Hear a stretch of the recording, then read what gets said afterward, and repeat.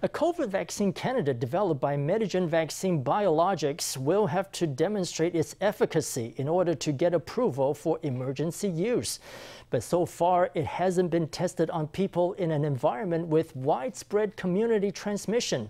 The Taiwan Food and Drug Administration says in the absence of real world efficacy data, local vaccine makers can use an alternative method to show their candidate's protective effect. This method, called immunobridging, involves comparing the immune response created in the body by the candidate to the immune response elicited by the AstraZeneca vaccine. Medigen aims to obtain emergency use authorization for its COVID vaccine in July. According to guidelines released by the FDA on Thursday, Medigen may demonstrate its vaccine's efficacy against COVID through an approach called immunobridging. In its immunobridging study, 200 people vaccinated with AstraZeneca will be the control group. They'll be compared against people who received the domestic vaccine. Samples collected 28 days after full vaccination will be compared. If the Medigen group's neutralizing antibodies are at least equal to the level seen in the control group, Medigen's candidate will meet the standard for emergency use authorization. How can we determine whether the domestic vaccine is effective? At present, we're only able to do it this way. At the end of June, results will be released from the study on the AstraZeneca control group.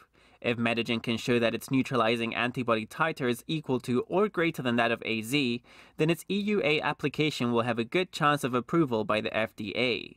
Because of the pandemic, we've decided to do things this way, after weighing all the trade offs. Of course, we are in a race against time.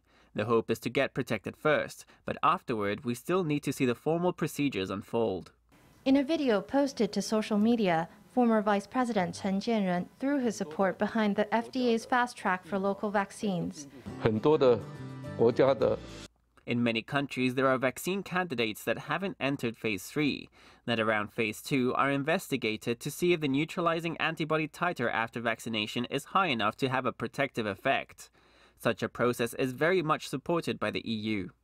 He also defended the CECC's controversial purchase of 5 million domestic vaccine doses last month before the completion of phase 2 trials. Why was Israel so fast? As soon as the Pfizer vaccine was ready, Israel already had all the doses it needed.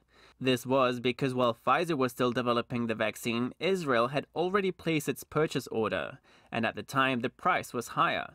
I would rather spend a little more to help ensure that the vaccine's R&D process goes smoothly. In the video, Chen spelled out Taiwan's vaccine procurement strategy. Our hope is that 65% of Taiwan's population can be covered by vaccines. Our first path to vaccine access is buying them from major international manufacturers. The amount purchased is about 20 million doses. The other path is getting them from domestic manufacturers, which will produce 10 million vaccine doses. With questions swirling over COVID vaccines, the former VP and epidemiologist by training addressed concerns of the hour one by one.